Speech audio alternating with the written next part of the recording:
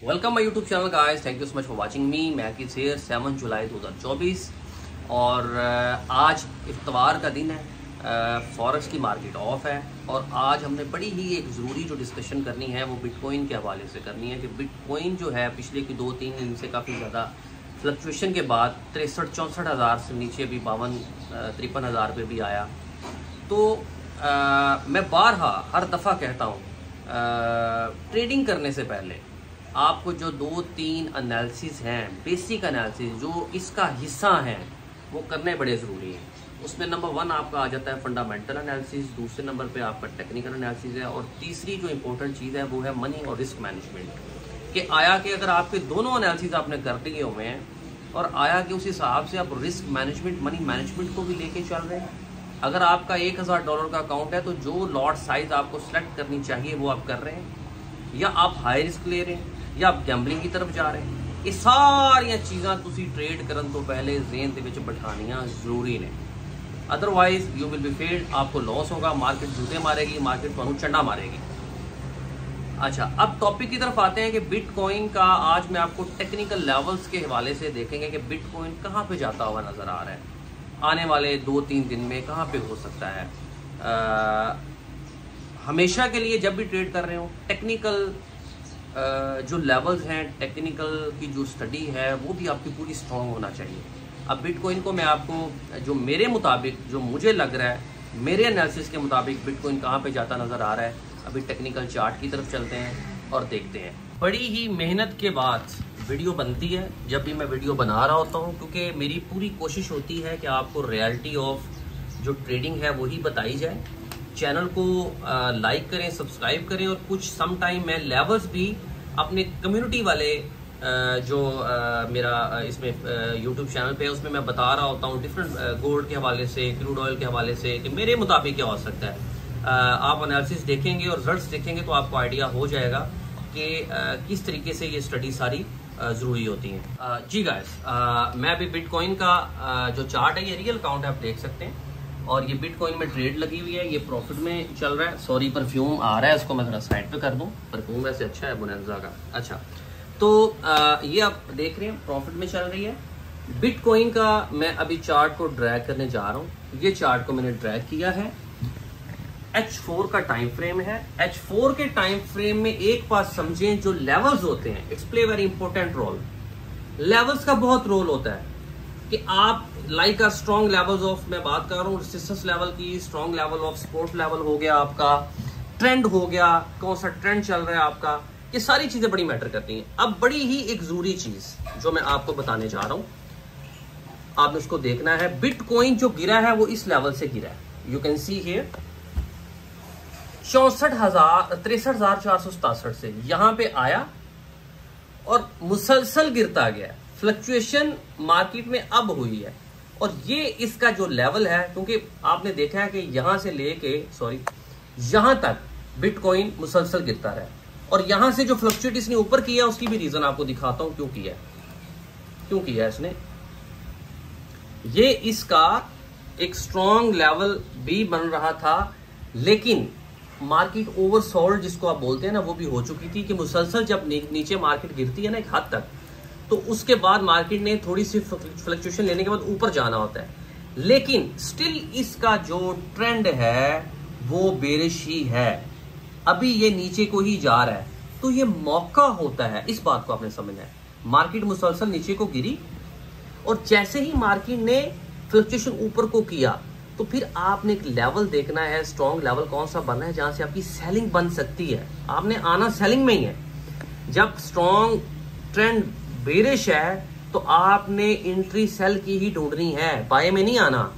यहाँ से बाय कह रहा था तो नहीं आना था। हमने सेल की देखनी है। यहाँ से भी आप कर सकते थे, लेकिन यहाँ पे सेवेंटी परसेंट इसकी विनिंग रेश होती यहाँ से भी कर सकते थे, लेकिन जब ये लेवल आया तो ये आपका 80 टू 90 परसेंट छोटी वाला लेवल है कि जहाँ से आप सेल कर सकते हैं। और ये देखें लाइव जो है वो ट्रेड ये चल भी रही है। बहुत कम रिस्क लिया हुआ है, क्योंकि ये अकाउंट छोटा है।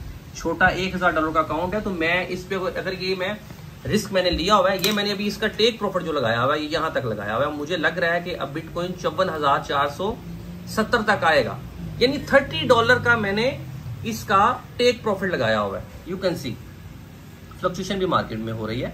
और ये, और एक अब और कंफर्मेशन जो हुई है मुझे, अभी ये देखें। अभी ये टाइम चल रहा है। ये इस जो मैंने स्ट्रेटजी अटैच की हुई है, इसमें आपको कैंडल का टाइम भी बताता है। तो इसमें अभी जो क्लोजिंग हुई है, पिछली जो कैंडल है, वो बेरिश में हुई है। तो अब और ज़्यादा चांस हो गया कि ये नीचे गिरेगी। अब ये देखें, अगली जो कैंडल है, ये भी स्टार्ट हो गई हुई है और वो बेरिश में ही बनना स्टार्ट हो गई हुई है। आप यहाँ पे भी देखें, ये भी प्रॉफिट में जाता हुआ आपको नज़र आएगा एकदम से डेढ़ से जो तीन डॉलर पे जा रहा है, इसकी बिहाइंड रीजन यही है। तो जब स्टडी के साथ आप कर रहे होंगे, जब आप ट्रेड स्टडी के साथ कर रहे होंगे, जब आपका एनालिसिस स्ट्रांग होगा तो फिर आपको कॉन्फिडेंस होगा, मैं इसको टेक प्रॉफिट स्टॉप लॉस लगा के मैंने छोड़ा हुआ है, मैंने 35 डॉलर का रिस्क लिया हुआ है। इसके ऊपर ट्रेड के ऊपर ट्वेल्व डॉलर का रिस्क लिया हुआ है और 35 डॉलर का मैंने टेक प्रॉफिट लगाया हुआ है। फॉर एग्ज़ाम्पल अब ये बात आ जाती है रिस्क मैनेजमेंट की। समझना है आपने? कि एंट्री मैंने बड़ी छोटी डाली है, मेरी स्टडी भी मैंने कर ली, और अगर मुझे लॉस हो जाता है, बारह डॉलर का there is no any problem मेरे पास एक हज़ार डॉलर पड़ा हुआ है अभी तो बारह डॉलर अगर मेरे माइनस में जाते हैं तो मेरे पास रिमेनिंग नौ सौ अट्ठासी डॉलर होंगे ट्रेडिंग के लिए। तो मैं दोबारा फिर एक अच्छी एंट्री ढूंढ के मैं दोबारा फिर एक अच्छी एंट्री ढूंढ के मैं 24 डॉलर का रिस्क ले सकता हूँ और उसको मैं फिफ्टी डॉलर तक जो इसका टेक प्रॉफिट लगा सकता हूँ, जहाँ पे मैंने 0.01 डॉलर की लॉट लगाई है। मैं 0.02 से भी कर सकता हूँ। या आप देख रहे होंगे, मुसलसल नीचे जा रहा है और ये नीचे आएगा एज पर माई स्टडी मेरी पूरी वीडियो आप कोई भी देखा करें, आपको आइडिया हो जाएगा कि मैं जो एनालिसिस कर रहा होता हूँ उसके बिहाइंड पूरी एक स्टडी के बाद ही मैं आपको बता रहा होता हूँ, ये देखें स्ट्रॉन्ग लेवल है। इसने आपको बता दिया बेरिस में मार्केट है, ये इसका स्ट्रॉन्ग सेलिंग लेवल था। कैंडल भी एक क्लोज आपकी इसमें हो गई बेरिश में होगी तो ज़्यादा चांस है कि मार्केट नीचे को आए। जी गाय बड़े ही आसान लफ्ज़ों में वर्ड्स में समझाने की कोशिश करता हूँ। ट्रेड इज़ वेरी सिंपल अगर इसको सिंपल आप लेके चलेंगे तो हमेशा में हमेशा आप इसमें पैसा बनाएँगे।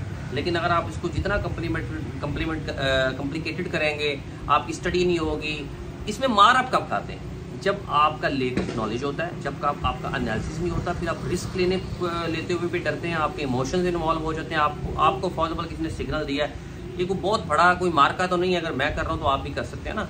मतलब कि ये को एनालिसिस करना को बहुत बड़ी कोई साइंस नहीं है। You you can do you also can do आसान है ईजी है। ट्रेडिंग को ईजी लेके चलें।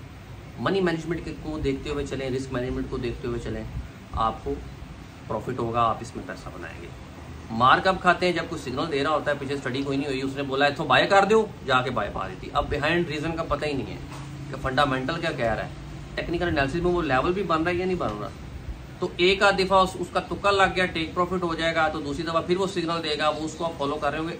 आप जब भी सिग्नल भी फॉलो करें आपको जो बेसिक चीज़ें मैंने बताई हैं फंडामेंटल टेक्निकल ये आपको खुद पता होना चाहिए। अगर सिग्नल दे रहा है आप क्रॉस चेक करें अच्छा उन्हें मैंने सिग्नल देता है तो मेरी स्टडी क्या कह रही है यार? अगर उसने बाय बोला है वाकई ही बाय बन रही है इस मार्केट में? मैं अपना पैसा रिस्क पे लगा रहा हूँ। तो वाकई ही मुझे यहाँ से बाय करनी चाहिए या नहीं सेलिंग करनी चाहिए? Thank you so much for watching कोई भी सवाल हो कमेंट बॉक्स में ज़रूर बताएँ। चैनल को लाइक करें सब्सक्राइब करें।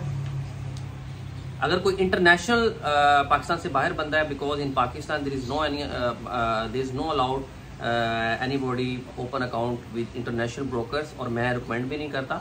uh, हाँ बाहर को बंदा है तो वो सपोर्ट कर सकता है। मैंने एक लिंक दिया हुआ है इंटरनेशनल ब्रोकर का, उसके अंडर अकाउंट ओपन करके मुझे सपोर्ट कर सकता है। थैंक यू सो मच ताकि हम ज़्यादा से ज़्यादा अच्छी से अच्छी वीडियो भी लेके आऊँ और इसकी तह तक जाए हम।